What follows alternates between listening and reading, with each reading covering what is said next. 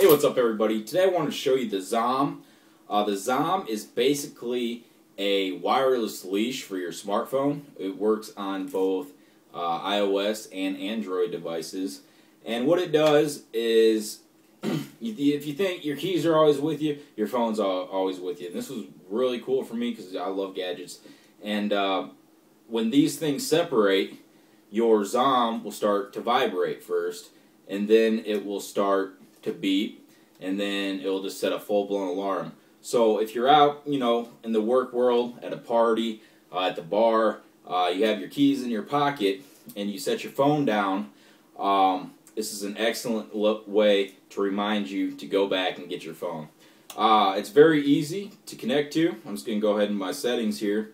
Uh, my Bluetooth, I'm going to go ahead and turn the ZOMM on. And just go ahead and connect it. And there it is connected. Now there's a few other things that's really cool about this too. I realized I listen to music really loud when I drive my car and I don't always hear my phone go off. I noticed the other day when I had my keys in my ignition, uh, even for a car, when when someone calls, it will flash. You can either so if, if people are going to call, it, you can set it to flash. You can set it to even beep. And the cool thing is, is you can use it as a speakerphone, which I'll show you here right now. See, it's calling on my on my phone, and you'll hear light up like that, and I'll go ahead and answer it right here from the from the ZOMM itself. Hello? Can you hear me?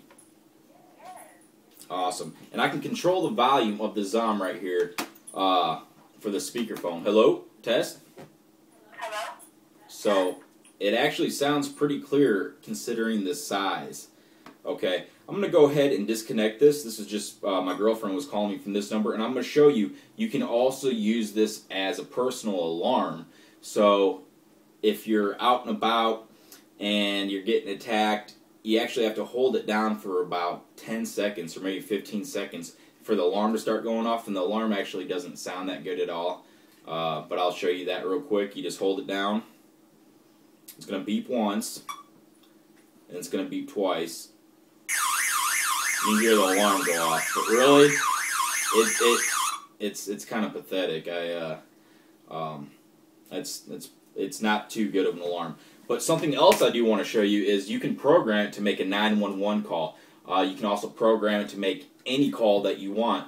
Uh, I'll show you, for instance, here I have made a uh, on the computer. I've programmed it to uh, call my house phone. So I'll go ahead and you have to just hold down for three beeps this time. Once again, you have to hold it through the alarm. So it, you know, if you really were in trouble, I mean, you're gonna have to push this thing for a while. But I'll show you here.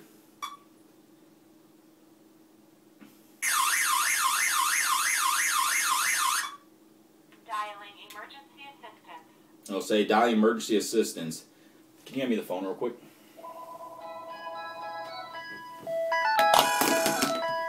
Now I do want to show you, whoever you do have your phone call, this is what it's going to say first.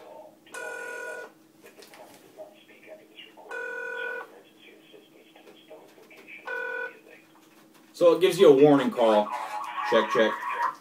But that, I'm getting too much interference here. But you can make that call to the uh, to your phone or whatever. I'm gonna have uh, Amy take my phone here, and she's gonna walk away upstairs. The average range for the leash is about 30 feet, but if you were to go outside with no walls and things, you probably get a little longer than 30 feet.